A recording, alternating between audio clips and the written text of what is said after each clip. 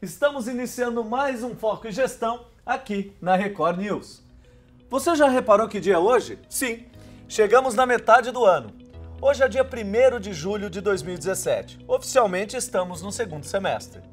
Um semestre é o período de tempo que leva para a Terra completar meia órbita em torno do Sol, ou seja, seis meses. Enquanto o planeta teve esse trabalho todo, outros entram de férias. Julho também é o mês de férias escolares e, com isso, muitos profissionais aproveitam essa oportunidade para tirar uma, duas semanas ou até mesmo o mês todo para curtir ao lado dos filhos ou da família. Mas aqui no Foco em Gestão a gente não para. Vamos continuar orbitando nos assuntos mais interessantes para você e sua carreira profissional. Todo sábado você tem um encontro marcado comigo, aqui na Record News. Agora eu vou contar para você Quais são os destaques de hoje? Quando você compra um produto qualquer, pode ser um telefone, calçado ou uma simples lata de refrigerante. Você consegue imaginar todos os processos que envolvem essa produção? Quais caminhos percorridos deste produto até chegar às suas mãos? Você tem ideia? Nossa reportagem visitou a fábrica da Ambev para mostrar tudo o que envolve a produção das bebidas para mostrar para você uma coisa eu posso te garantir: não é nada simples. A tecnologia veio para revolucionar nossas vidas. É fato. O celular então nem se fale. Hoje, esquecer ou perder o celular é algo perturbador. O aparelho parece que se tornou extensão do nosso corpo. E você conhece aquele vício que as pessoas têm de ficar o tempo todo grudadas no celular ou nas redes sociais? Ele tem um nome: nomofobia. Essa mania pode pegar mal quando fica muito evidente no ambiente de trabalho. E não só no trabalho. Hoje, já há bares e restaurantes que têm um lugar para deixar o celular. E tem até grupos de amigos que, quando se encontram, combinam que é sem celular. Fomos conversar sobre isso e vamos ver qual a melhor maneira de resolver esse problema. No Brasil, a maioria das empresas é familiar. É um dado estatístico. É natural que aqueles que construíram grandes impérios nomeiem seus filhos, seus herdeiros, para cuidar do seu negócio. Há também muitas empresas que profissionalizam a gestão, afastando completamente a família, principalmente em casos de grandes corporações mais consolidadas. Mas hoje, nós vamos falar justamente dessa grande tradição que é passar o bastão de uma geração para outra e com sucesso. Visitamos uma empresa familiar para contar a história, mostrar as mudanças e dificuldades que envolvem uma sucessão com essas características. Um casal de judeus que havia chegado ao Brasil em 1938, pouco antes da Segunda Guerra Mundial, resolveu completar o orçamento com o aluguel de livros em inglês e alemão. O nome dela era Eva Hertz, que em 1947, um ano antes da criação do Estado de Israel, inaugurou a primeira livraria cultura em São Paulo. Vamos receber aqui no nosso estúdio o filho da dona Eva, o Pedro Hertz, empresário e dono da Livraria Cultura, um ícone importantíssimo e cultural no nosso país e hoje presente em quase todo o território nacional. Como você pode perceber, o programa hoje está imperdível. E como o homem é movido cada vez mais por inovações e boas ideias, chegou o momento das novidades criativas do nosso quadro Giro no Mundo.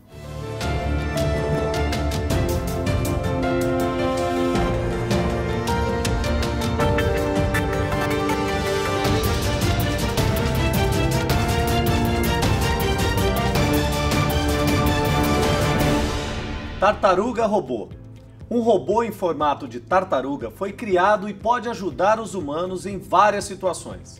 Ele tem quatro pernas que se movem simultaneamente e cria um movimento lento, mas constante. Além disso, suas patas são impressas em 3D com um material maleável e rígido ao mesmo tempo e que pode criar diferentes padrões de movimento. Com essa técnica, o aparelho pode andar em diferentes terrenos, como areia ou pedra. A robótica apresenta tantas novidades e possibilidades Esse robô é um que poderia, quem sabe, participar de pesquisas em planetas e na exploração de minérios, por exemplo. Veloz nas águas. A Sublu, empresa de equipamentos aquáticos, criou um aparelho que permite um bom mergulho sem necessidade de usar pé de pato. O White Shark Mix é equipado com duas pequenas turbinas aquáticas que alcançam uma velocidade de até 5 km por hora. O aparelho pode ser guiado e tem um espaço para colocar câmeras, como a GoPro. Olha, esse aparelho tem tudo para ser um sucesso no próximo verão. Parece diversão garantida na piscina e para mergulhos no mar, tanto para a criançada como para os adultos. Exoesqueleto com alto equilíbrio. Um grupo de desenvolvedores suíços criou um exoesqueleto diferente de todos os outros que já existem. Ao invés de ajudar pessoas a levantar objetos mais pesados e fazer outros tipos de movimentos, o aparelho desenvolvido pela Escola Politécnica Federal de Lausanne tem como objetivo auxiliar pessoas idosas a andarem sem perder o equilíbrio e elimina qualquer possibilidade de queda. Hoje em dia a gente vê tantas pesquisas voltadas para o bem-estar do idoso isso tudo é muito bacana e precisa ser difundido para o maior número de pessoas. Já há pesquisas, inclusive, que apontam para uma longevidade de cerca de 100 anos para a geração que nasceu na virada do século. Eu sou um pouquinho só mais velho do que isso, como vocês podem perceber. Mas se for para viver 100 anos e com qualidade de vida, tô dentro. Mar limpo. Uma nova tecnologia vai ser usada para limpar plástico do oceano. Uma barreira flutuante ajudará a represar plástico e fazer com que ele não saia do lugar. O equipamento terá duas âncoras, o que o deixará mais pesado, fazendo com que ele se mova mais devagar que o plástico flutuante no mar, possibilitando a sua captura. O primeiro teste da nova tecnologia acontecerá no norte do Oceano Pacífico, logo agora em 2018. Esse é um projeto que deve ser posto em prática sem dúvida alguma a poluição por plástico no oceano chega a índices alarmantes. Existe até uma espécie de ilha flutuante no Pacífico, sem falar dos efeitos negativos para os animais e até mesmo para nós, seres humanos. Para um país como o Brasil, que tem uma costa exuberante, a limpeza do mar deveria começar pela educação de cada um de nós, jogando o lixo nos locais apropriados. Filme 360 Graus. A Garmin, empresa de tecnologia norte-americana, desenvolveu uma nova câmera para registrar aventuras. O modelo pode filmar vídeos em 360 graus com excelente resolução. A câmera tem suporte para capacetes e outros equipamentos. Um equipamento perfeito para os amantes de viagens e esportes radicais. Ainda mais que ela vem acompanhada de vários acessórios com essa câmera, nenhum detalhe da sua viagem vai ser esquecido. Energia ecológica. A China é um dos países que mais polui no mundo, mas está buscando novos métodos de produzir energia limpa. Recentemente foi inaugurada na província de Anhui uma enorme plataforma flutuante de painéis solares no mar. A usina tem capacidade de gerar 40 megawatts e foi construída em cima de uma antiga mina de carvão alagada. Quanto mais a China investir em energia limpa, melhor para o planeta. E principalmente para a própria população chinesa. É assustador quando aquela poluição toda atinge as grandes áreas populacionais do país. Tudo para e até respirar fica difícil.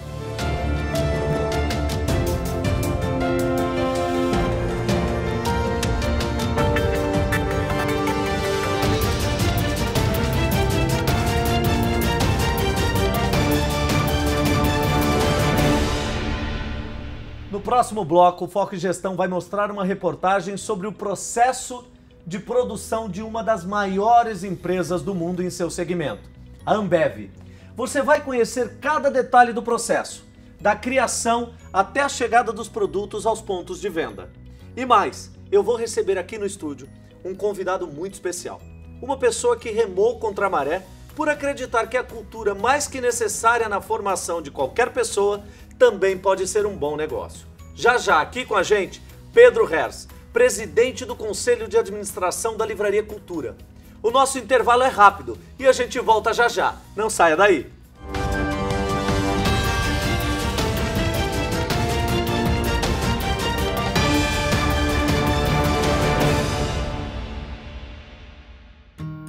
Imagine o que você faria se pudesse escolher como começar o seu dia onde trabalhar. Imagine se você pudesse ter mais tempo. O que você faria?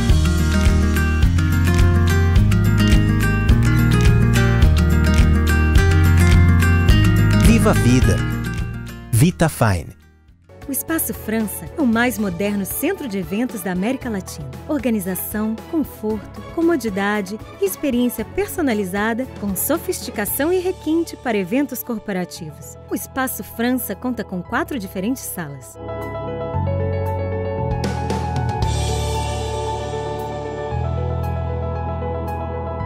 Aqui no Espaço França, o seu evento será realizado com qualidade e sucesso. Venha conferir.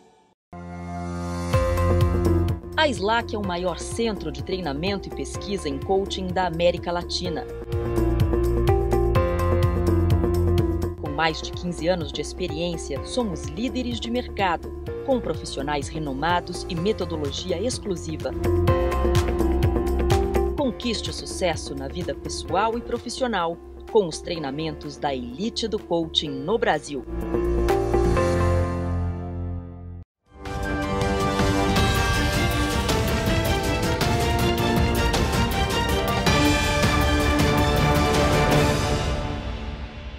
Temos o costume de falar desse ou daquele produto, dessa ou daquela marca e até de gigantes da indústria. Mas você aí em casa, tem noção como é o processo de produção dentro de uma companhia? etapa a etapa e como uma corrente, cada peça deve ser colocada e encaixada do jeito certo para que tudo funcione perfeitamente como uma engrenagem e em proporções de grande escala. Tá curioso? Pois visitamos uma dessas por dentro e vamos contar para você agora aqui na nossa reportagem. Uma empresa é feita de vários departamentos, áreas que precisam funcionar em perfeita harmonia para garantir um produto ou serviço de excelência para os consumidores. Produzindo marcas líderes de mercado, essa empresa em São Paulo conta com mais de 1.300 pontos de controle e 374 tipos de testes diferentes para garantir a qualidade das bebidas que chegam à mesa de muitos brasileiros. E sabe onde tudo isso começa? Aqui, no Centro de Desenvolvimento Tecnológico. O departamento é responsável por algumas fases essenciais para o desenvolvimento das bebidas. A unidade produz duas grandes marcas de cervejas do país. E é aqui que começam as pesquisas de mercado para entender o que os consumidores esperam do produto. No centro tecnológico, são realizados os experimentos com novas receitas. São várias tentativas com ingredientes e composições diferentes em uma mini cervejaria modelo, antes de liberar o produto para testes em escala industrial. Com essa receita, então, a gente vai para a nossa planta piloto. Na planta piloto a gente desenvolve esses protótipos, checa a qualidade, né? A gente faz todos os cheques de qualidade que também são feitos na cervejaria, faz o sensorial, entende se é realmente o perfil que a gente quer. Caso não seja, a gente gera novos protótipos e vai fazendo esse processo até chegar no melhor produto para o consumidor. A área conta ainda com um time especializado e treinado em degustação de cervejas. São eles que vão definir o perfil da bebida que vai chegar ao mercado e que possuem a profissão desejada por muitas pessoas. Dentro da minha área, então, a gente tem um painel de degustadores e esses degustadores são os cervejeiros, é o pessoal que trabalha aqui no centro de desenvolvimento. A gente faz treinamento com eles, qualificação para que eles se tornem então degustadores, né? E essas pessoas então são responsáveis por degustar os produtos, verificar então se está no perfil que a gente que a gente quer, está na qualidade também que a gente precisa para o lançamento. Garantir o sabor perfeito também é tarefa da área de processos. As mestres cervejeiras da equipe coordenam as degustações de todos os ingredientes que fazem parte da composição das bebidas. Com as checagens feitas, é hora de liberar a produção. As matérias-primas passam pelo processo de fermentação, maturação e filtragem. E mais uma vez, voltam para a aprovação final do time. Eu degusto tudo que vem dentro do produto. Então, tudo que entra na cerveja eu tenho que degustar. Então, eu degusto água, que vai na cerveja, eu degusto o malte, eu degusto o lúpulo, eu degusto tudo aquilo que tem contato com o meu produto. Tá? E além disso, eu degusto todas as etapas de produção. Então, o que sai daqui da abraçagem que a gente está agora, do que vai para a fermentação, do que vai para a maturação e assim por diante, até no produto acabado. E é engraçado que eu degusto até mais, eu degusto o que está em prateleira. A capacidade instalada da empresa permite produzir até 405 mil hectolitros de cervejas por mês, ou seja, 40 milhões e 500 mil litros. Com a qualidade do líquido checada, a bebida vai para a área fabril. Por lá, acontecem os processos de invase, rotulagem e armazenamento. O setor é todo automatizado e as linhas de produção da unidade estão programadas para produzir de modo alternado os chamados litrão e litrinho, garrafas de 1 litro e de 300 ml, respectivamente. O processo começa com a entrada do vasilhame na máquina. Ali, ele será enchido com a cerveja e tampado. Rolando por uma esteira, a garrafa segue até o primeiro ponto de checagem. Um sistema laser verifica se não há rachaduras ou qualquer tipo de problema no produto. E na parte de invase, a gente tem um posto avançado, onde a gente garanta também que o nosso produto, que saiu perfeito da área de processo, vai chegar perfeito lá dentro da garrafa. A esteira segue e outro equipamento entra em ação. É hora da rotulagem. Manualmente, a equipe de produção prepara os adesivos autocolantes e coloca na máquina. É ela quem faz todo o trabalho. Na saída, outro ponto de checagem antes de liberar as garrafas para o armazenamento. A última etapa está no maquinário que coloca os vasilhames nos engradados que serão usados na distribuição. Ganchos de ar prendem o bocal das garrafas e as encaixa perfeitamente em seus espaços. Ou a cerveja está perfeita, ou ela não serve para o nosso consumidor. É arte e tecnologia. A gente não quer que o nosso que o nosso consumidor encontre um produto defeituoso no mercado. Então, é a busca pela cerveja perfeita em cada garrafa. Pronto. Com o ciclo concluído, as caixas são encaminhadas para o centro de logística, que vai determinar a entrega das bebidas em bares, restaurantes e supermercados de diversas localidades do país. O processo não tem uma periodicidade definida. Depende dos pedidos externos para programar as linhas de produção. Mesmo assim, a fábrica funciona 24 horas e 7 dias por semana. Manter o controle de tantos processos é um desafio que precisa do comprometimento de todas as áreas. A companhia se orgulha da ligação entre cada departamento, que tem funcionado de maneira perfeita e garantido marcas centenárias, que são as queridinhas do mercado. Depois desse passeio por todas as etapas da produção da cerveja, chegou a hora de saborear o produto final. Servidos? Ele literalmente cresceu vendo livros por toda parte. Ainda pequeno, a casa em que vivia com os pais alugava livros para estrangeiros interessados em obras em inglês e alemão. Os clientes, os imigrantes de São Paulo. Depois, já na década de 60, era uma pequena livraria na Rua Augusta, na região central de São Paulo. Pouco depois, foi para um local recém-aberto, na época, o Conjunto Nacional. Para quem não é de São Paulo, um local bem no coração da Avenida Paulista, com a Rua Augusta duas vias importantes da cidade. Pedro é formado em administração e assumiu a gestão da empresa e certamente tem ótimos ensinamentos para todos nós. É um prazer receber aqui no estúdio do Foco em Gestão o presidente do Conselho de Administração da Livraria Cultura, Pedro Hertz. Seja bem-vindo ao programa, Pedro. Muito obrigado. Obrigado pelo convite, Sullivan. Prazer estar com vocês. Eu agradeço. Pedro, com, meio, com, com a evolução dos meios digitais e até o lançamento, o surgimento do Kindle, eu acredito que isso deve ter gerado algum impacto no mercado de livros. Que impacto é esse que essa, que essa tecnologia acaba gerando? Eu acho que, eh, na realidade, o que aconteceu foi muito mais barulho do que coisa concreta. Porque eh, é uma definição e é uma conclusão minha, e eu assumo inteira responsabilidade pelo que eu vou falar o aparelho não faz leitor. Nós temos um vazio de leitores nesse país aqui, infelizmente. O consumo de livros per capita é extremamente baixo, a educação vai muito mal. Então, um simples aparelho não faz a pessoa ler.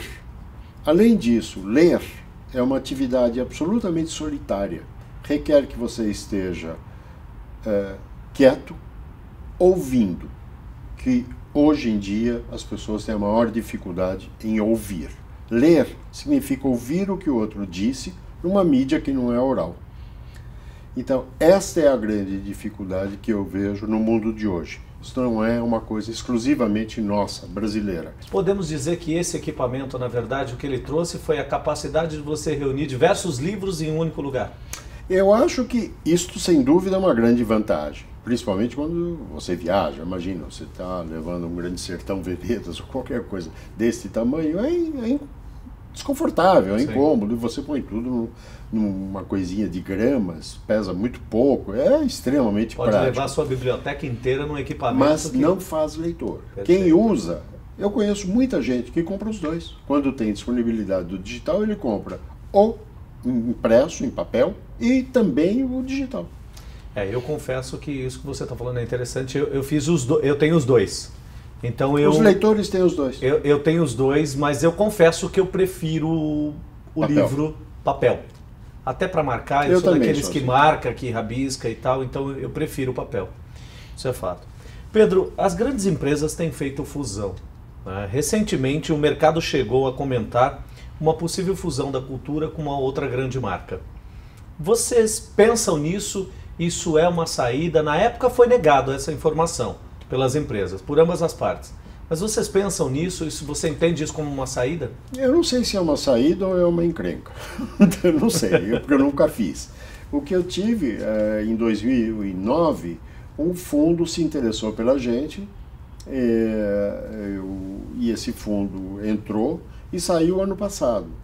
Então ele ficou uh, um tempão conosco, desde 2009 até 2016.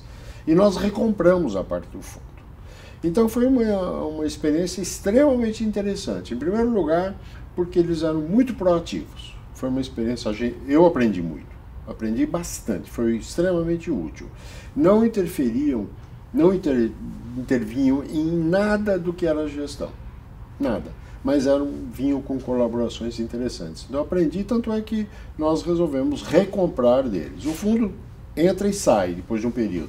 Inicialmente eles tinham debentures, eles converteram os debentures em ações, portanto eram nossos sócios. Quando você diz em aprendizagem, que teve uma aprendizagem com esse fundo, o que você destacaria como as três principais aprendizagens neste momento em que vocês estiveram ah, com o fundo? Toda a gestão financeira vindo de um fundo, a gente aprendeu muito, a gente fez muito erro, cometia muito erro. Era uma empresa, ainda é uma empresa familiar, e, e os erros a gente, sabe, a gente aprende com os erros. E aí veio alguém mostrando os erros. Então foi um ótimo, foram ótimos professores. Uh, aquilo que eu errava no passado, eu não erro mais. Eu cometo novos erros, mas os mesmos eu não. Aí eu seria burro. então. Entre erros e acertos, quais são os maiores desafios hoje de tocar no Brasil uma empresa como a Livraria Cultura? Olha, o maior desafio, na minha opinião, é enxergar o futuro do varejo, não da livraria, do varejo como um todo. Eu acho que o varejo passa por grandes modificações. Em que direção vai? Eu não tenho a menor ideia. Uh, você tem hoje uma presença enorme do digital, ou seja, da internet, chamado digital internet, da qual nós estamos desde 94 ou seja, sou macaco velho na internet. Aprendemos muito, aprendemos diariamente e hoje é a nossa loja número um. Você muito jovem, Pedro, assumiu a, a, a empresa. Como Eu que sou foi? jovem. Mas quando mais jovem ainda, assumiu a empresa. Como foi isso? Foi muito, muito tranquilo. Não, não tive problema nenhum. Eu assumi junto. Meu, meus pais eram, eram vivos, claro é, quem teve a ideia foi minha mãe, porque ela precisou ajudar meu pai. E quando ela vislumbrou o, o, a, a, loja que você citou na Avenida Paulista, na esquina com Augusta, é, aquilo foi um medo danado. Meus pais eram imigrantes alemães, fugidos do nazismo, e aí tudo era uma coisa assim, com muito medo de, de coisas. Isso foi em 1969 que a gente abriu. Então, eu falei, faz. E se eu tiver que ficar sem salário, fico eu. Foi quando eu entrei de fato, mas minha mãe estava junto e meu pai ia também na hora do almoço lá ficar lá. Então foi um negócio que foi razoavelmente simples de fazer. De vez em quando a gente discordava, mas o que duas pessoas normalmente fazem é discordar. De 1969 para cá, para 2017, o que fundamentalmente mudou no mercado brasileiro de livrarias? Ah, mudou tudo mudou tudo. Até a maneira de se vestir, a maneira de falar, tudo muda, é muito dinâmico. O comércio varejista, de um modo geral, é muito dinâmico. Com o advento da internet, que começa aqui em 94, e nós somos absolutamente pioneiros. Eu cheguei a ter uma BBS, para aqueles que não sabem, BBS Bulletin Board System, que usava uma linha telefônica para cada, para cada conexão. Isso na época era uma fortuna, porque eh, linha telefônica era um capital. Hoje não é mais. Linha, linha telefônica era um investimento há alguns Exatamente. anos. Né? Então, é, então tudo muda muito rapidamente hoje. Em termos é, tecnológicos, o avanço é enorme.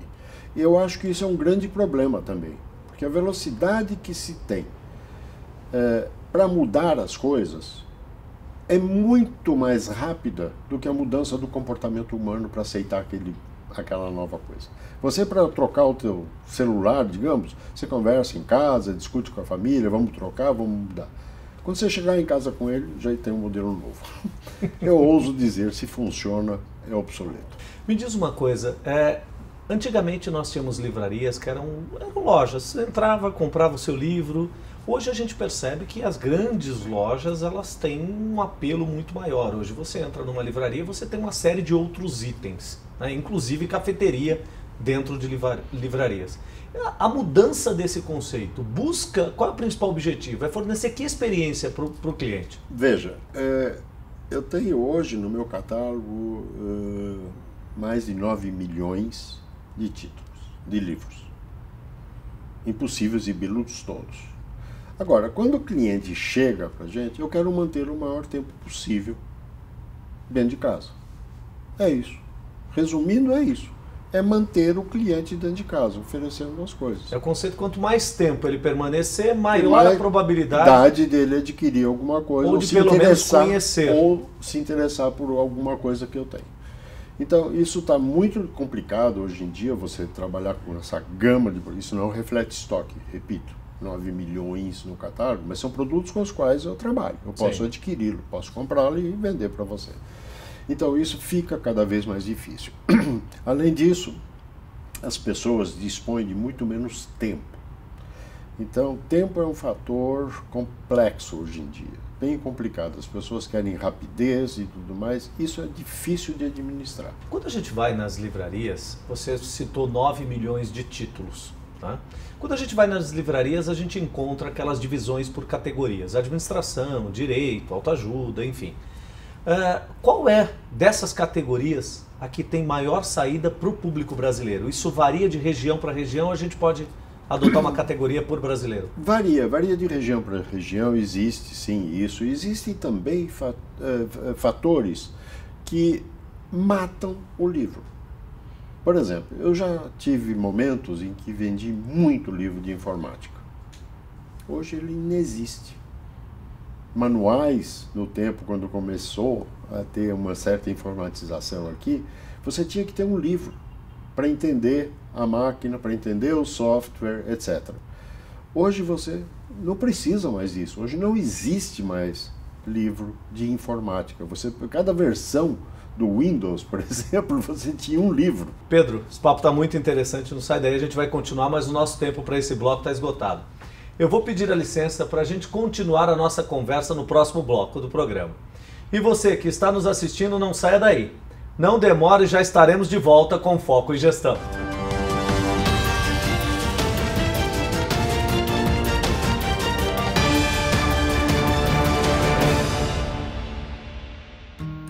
Imagine o que você faria se pudesse escolher como começar o seu dia.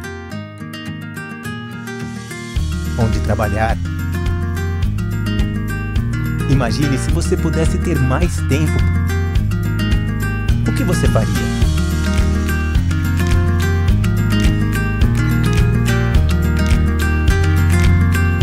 Viva a vida. Vita Fine. Passo França é o mais moderno centro de eventos da América Latina. Organização, conforto, comodidade e experiência personalizada com sofisticação e requinte para eventos corporativos. O Espaço França conta com quatro diferentes salas.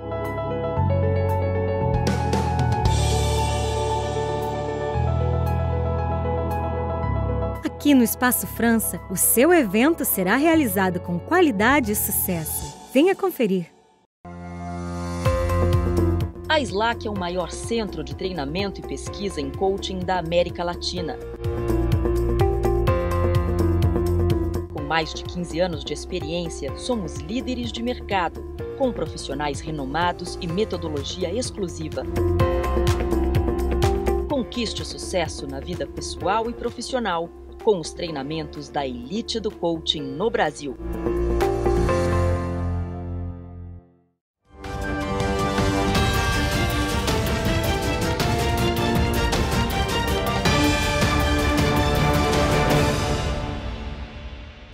Foco Gestão está de volta e eu continuo conversando com Pedro Hertz, presidente do Conselho de Administração da Livraria Cultura.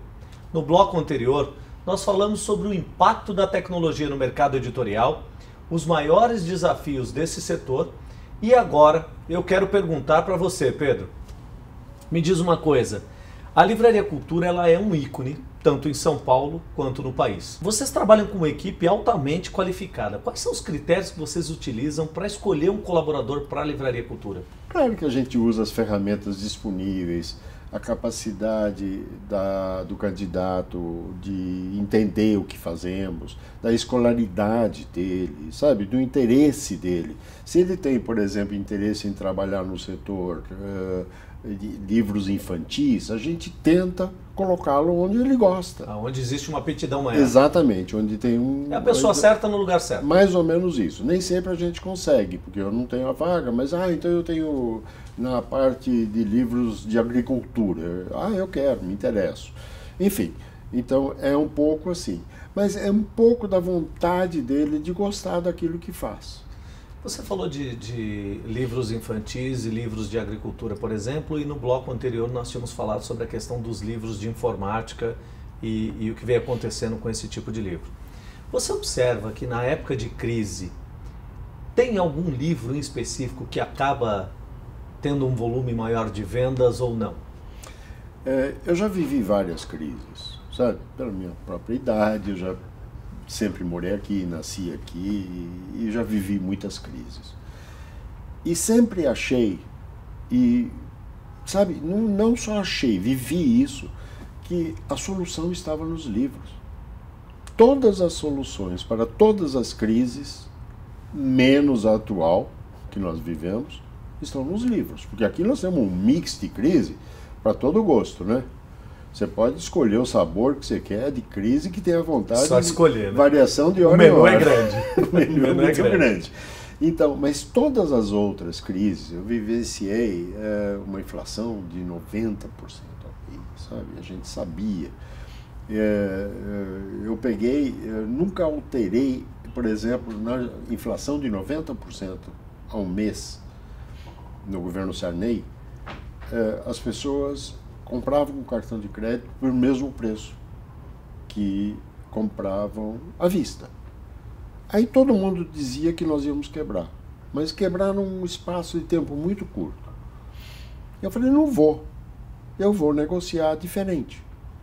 Eu vou conceder o prazo que a editora me dá para pagar ao meu cliente. Ou seja, eu diminuí quantidade e aumentei frequência de compra. E não quebrei.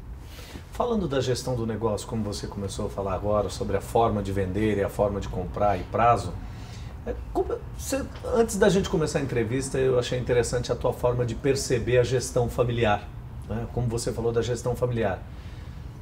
Compartilhando um pouquinho com o nosso telespectador agora, como é que compartilha com eles agora como é que você vê a gestão familiar. A, a cultura está na terceira geração, é isso? Isso. Terceira geração. Eu sou a segunda. Você é a segunda e aí está indo tá no teu filho agora que é a terceira geração. Isso. E você disse que a, a gestão familiar ela tem um tamanho. Explica isso para o nosso telespectador. Eu acho que a partir de um certo tamanho a gestão precisa ser profissional. Porque ou você tem tantos filhos, que não é possível, e também acho que não, não ia dar certo, eu acho que a gente tem que determinar o tamanho da empresa. E a partir daí a gestão tem que ser profissional. Realmente profissional, onde o CEO, o CFO, etc., são contratados, ou eles entregam ou eles vão embora.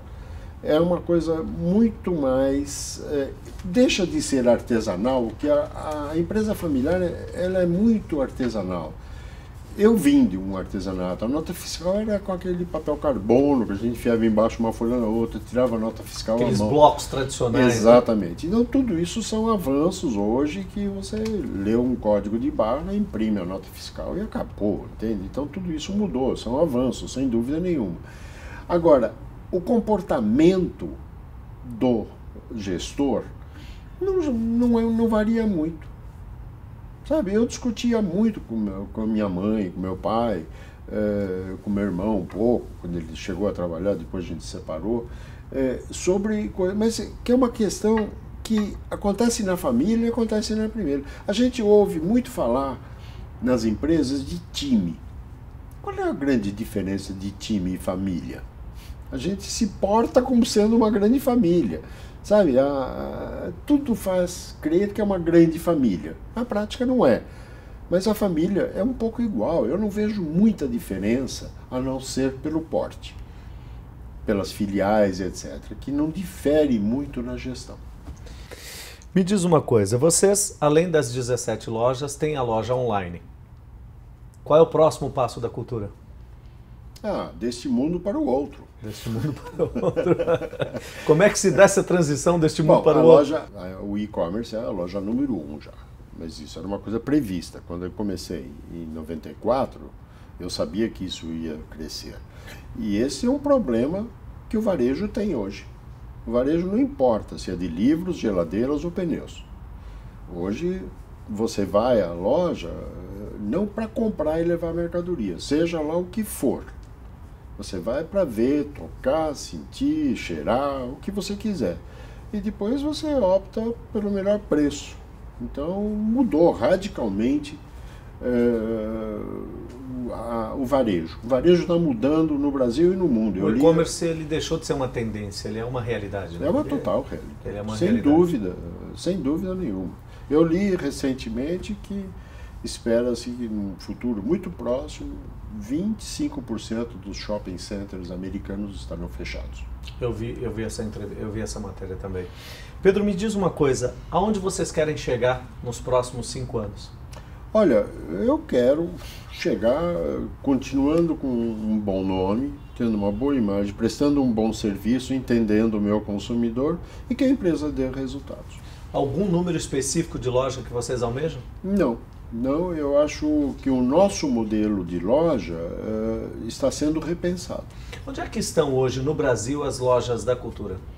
Ah, estão nas principais cidades, nas principais capitais, digamos, começando pelo litoral, né? Você vai de Porto, Porto Alegre não é litoral, uhum. mas é, na costa Atlântico, digamos assim, é, Brasília, é, Ribeirão Preto, Campinas, assim.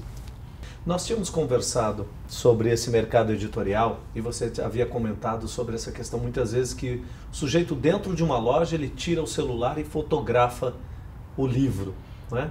Como é que a cultura lida com esse tipo de comportamento do, do, do cliente dentro de uma loja?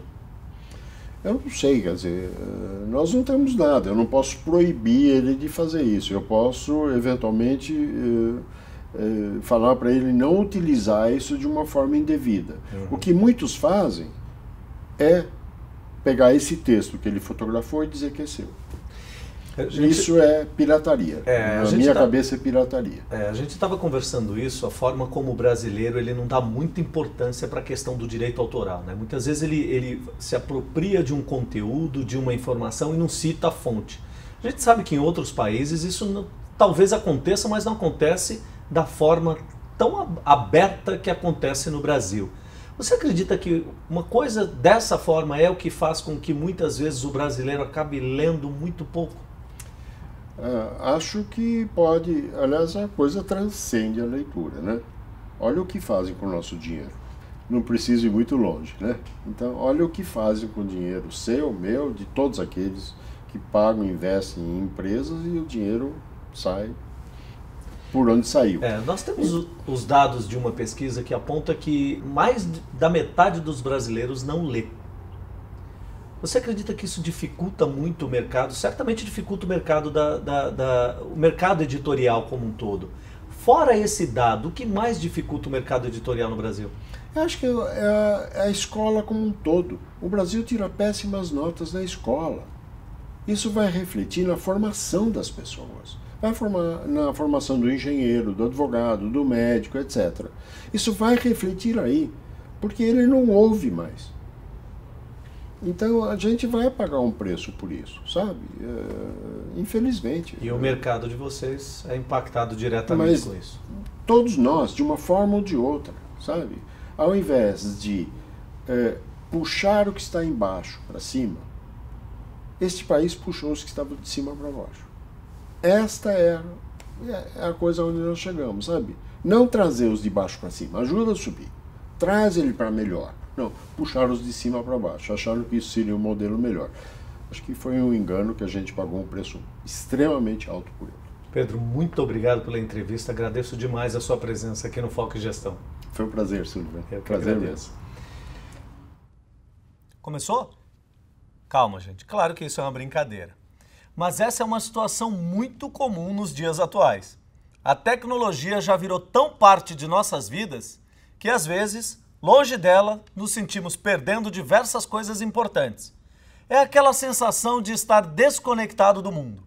No primeiro momento, esse sentimento pode parecer normal, algo passageiro, mas, dependendo da intensidade, acaba tornando-se um grande problema. Estamos falando da nomofobia, termo utilizado para resumir o medo de ficar sem o aparelho celular. A cada ano, essa doença tem atingido mais e mais pessoas. Um dos grupos mais afetados pelos sintomas são os profissionais, que acabam se acostumando a passar muito tempo trabalhando nos aparelhos. Tanto que esquecem de viver a vida ou se relacionar com os colegas e familiares. Vamos conversar com especialistas para entender um pouco mais sobre a nomofobia e como evitar o problema. Desliga o seu celular aí um minutinho e acompanhe conosco essa reportagem. Em casa, no shopping, no trabalho ou no restaurante. Se você não desgruda do celular nem por um segundo, saiba que não está sozinho. O número de pessoas que usam os aparelhos triplicou em quatro anos. São mais de 168 milhões de smartphones ativos só no Brasil. No mesmo período, subiu também o número de dispositivos conectados simultaneamente. Hoje, é praticamente impossível encontrar alguém que não esteja antenado, ligado e olhando o celular. O problema é saber até onde isso é saudável. Você é daquelas pessoas que não consegue ficar um minuto longe do celular? Desde a hora que acorda até a hora de dormir, está sempre com ele na mão, conectado, buscando alguma informação? Pois você pode sofrer de nomofobia, a doença que já acomete cerca de 10% da população brasileira. É o vício na tecnologia digital tão perigoso quanto a dependência química de álcool ou drogas. A gente não acreditava uns anos atrás que a dependência de celular, smartphones seria algo que fosse afetar fisicamente. Né? Ela afeta de uma forma um pouco diferente, mas ela afeta, ela traz sintomas. Sintomas de abstinência são iguais ou muito parecidos com quem usa ou abusa do álcool. A nomofobia começou a ser estudada em 1998 no Reino Unido Quase 20 anos mais tarde, psicólogos e psiquiatras consideram a doença um problema sério, que geralmente está ligado a sintomas de ansiedade e fobia social. Ninguém nunca acredita que está ficando viciado ou dependente demais do celular. É preciso ficar de olho em pequenas atitudes do dia a dia, já que a nomofobia pode atrapalhar o relacionamento com amigos e familiares e comprometer até o desempenho no trabalho. Na falta de concentração, perda de concentração. Em vez de estar concentrado na reunião ou na atividade, ou num atendimento, ou no que realmente tem que fazer, uma planilha. Está fazendo a planilha, está abrindo o celular. Está tá trabalhando e está olhando no celular. Não tem concentração que aguente, fora perda de energia. Né? Perde-se muita energia, perde o foco de atenção, perde essa, essa, esse empenho com o trabalho que de, naquele momento deveria ser só ele. Só que o celular tem atrapalhado muito. A nomofobia tem um alvo certo: os profissionais em geral. A obrigação de estar atualizado e a tentação do uso de novos aplicativos, somadas à troca de mensagem para falar sobre o trabalho, transformam muitas pessoas em viciadas na tecnologia. Elas sentem uma necessidade acima da média de estar em contato com o aparelho o tempo todo. Ah, eu fico agoniado, velho. Louco para chegar em algum lugar para poder carregar, né? Hoje em dia tem os ônibus, né, que dá, dá a oportunidade de a gente poder carregar, né, os novos ônibus aí, mas não são todos ainda, né? Então tem que esperar, né? Tem, tem os power bank também, né, que eles dão essa opção, mas eu fico agoniado. Eu uso bastante para uso pessoal e empresarial também. A fobia de ficar longe do celular gera sintomas similares à abstinência. O indivíduo sente um desconforto e até sensações físicas como sudorese e mãos frias ao ser privado do contato com o aparelho. Psicólogos dizem que não há como se falar em cura, mas com acompanhamentos e tratamentos psicoterapêuticos é possível voltar a utilizar o celular sem trazer nenhum prejuízo para a vida da pessoa. Quando os pais percebem, quando algum amigo percebe, ou quando a própria pessoa percebe que ela está tendo um afastamento do repertório de vida social, familiar, profissional e que isso está prejudicando, ela tem que buscar ajuda. Se por um lado a nomofobia vem crescendo entre a população, por outro, ainda é possível encontrar aqueles que encaram o celular apenas como uma ferramenta para serviços. Para essas pessoas, nada é capaz de substituir o contato cara a cara. Eu acho que a interação tem que ser viva cores. Eu uso o celular para ver banco, para ver aplicativos que são necessários que para eu não me deslocar. Fora isso, conversar eu converso normalmente. Não sou dependente. Também dá para encontrar no próprio celular uma maneira de tentar controlar o vício. Alguns aplicativos monitoram o tempo gasto com as atividades no aparelho e ajudam a enxergar o sinal vermelho, alertando que é hora de deixar o smartphone de lado. Estar conectado e informado é bom, mas especialistas garantem que ficar longe do celular por algumas horas é ainda melhor. Ajuda na concentração e estimula a criatividade. Que tal desligar seu telefone e dar uma olhada em volta? O mundo real tem muita coisa para surpreender você. O Foco e Gestão de hoje ainda tem mais assuntos interessantes para você. Aguarde que você vai conferir logo a seguir, no nosso quarto e último bloco. Não demora muito e nós já voltamos, não saia daí.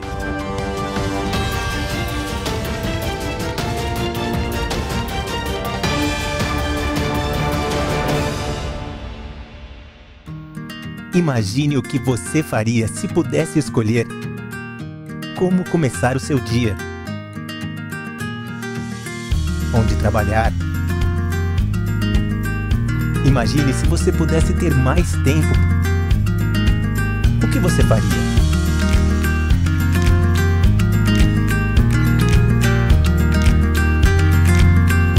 Viva a vida! Vita Fine o Espaço França é o mais moderno centro de eventos da América Latina. Organização, conforto, comodidade e experiência personalizada com sofisticação e requinte para eventos corporativos. O Espaço França conta com quatro diferentes salas.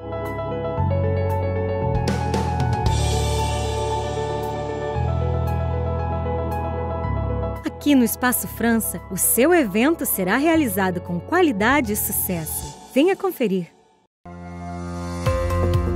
A SLAC é o maior centro de treinamento e pesquisa em coaching da América Latina. Com mais de 15 anos de experiência, somos líderes de mercado, com profissionais renomados e metodologia exclusiva. Conquiste o sucesso na vida pessoal e profissional com os treinamentos da elite do coaching no Brasil.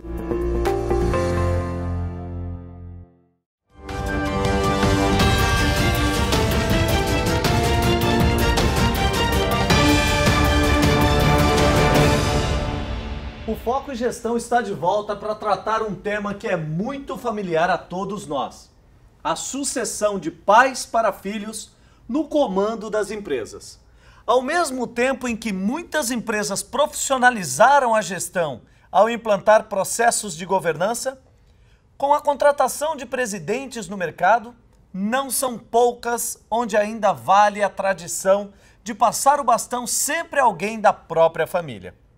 Em situações assim, o que é preciso para garantir a longevidade e a rentabilidade das empresas? Vamos ver na nossa reportagem?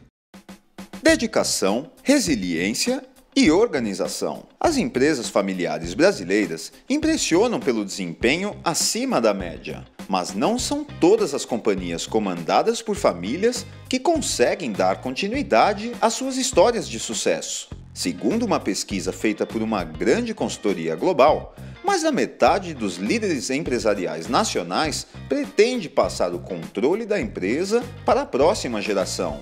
Apenas 11% das companhias familiares têm planos sólidos de sucessão no Brasil, um contraste em comparação à média mundial. Outras já deram início ao processo e abriram o caminho para os herdeiros há anos. Uma delas é a Hope, famosa por vender roupas íntimas em todo o país. Gisele Bündchen, Juliana Paz, Daniela Sicarelli. Algumas das estrelas mais bonitas e bem pagas do mundo, assim como diversas mulheres no Brasil, já vestiram peças da marca. Tudo começou nos anos 60, quando o libanês Nissim Hara assumiu o comando da fábrica de calcinhas do tio em São Paulo e criou a Hope. Em 1998, suas três filhas entraram na empresa e passaram a tocar o negócio junto com o pai. A chegada da nova geração deu início a uma grande transformação na companhia. O principal uh, benefício que a gente trouxe para a empresa, eu e minhas irmãs, é a roupa é uma empresa muito feminina. E isso graças à entrada de nós três, porque antes ela gerida, era gerida por homens e agora por mulheres. E a gente deixou a empresa com a cara que a gente queria. É, como se os produtos, relacionamento com funcionários, com, com o público em geral, uh, ficou muito mais, uh, o dia a dia ficou muito mais feminino, muito mais com a nossa cara. Sandra Chaio reconhece que aprendeu muito com o pai e vê nele inspiração para seguir em frente com o negócio. Para mim tem sido muito bom, porque o meu pai é o melhor professor que alguém poderia ter. Não sei se eu tive sorte, mas é muito do perfil dele, essa coisa da criatividade, de, de saber ensinar, de ter coragem, confiança na segunda geração e poder passar isso tudo para a gente. Para ela, poder contar com familiares é essencial na condução da empresa.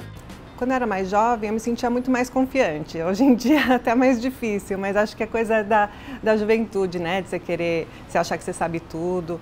É, mas para mim a grande é, vantagem é ter sempre é, as minhas irmãs ao meu lado para ponderar, para poder a gente tomar as decisões juntas e a decisão sempre mais certa para o bem da empresa. Há mais de 20 anos trabalhando como estilista na companhia, Célia foi testemunha de toda essa mudança na Hope. Era Hope e Mesh.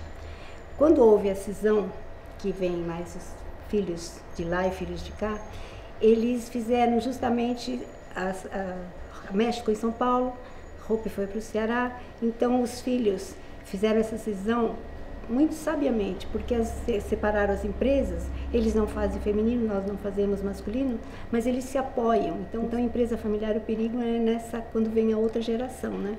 Então aqui não, brotou, fluiu para os dois lados, foi muito, muito bom.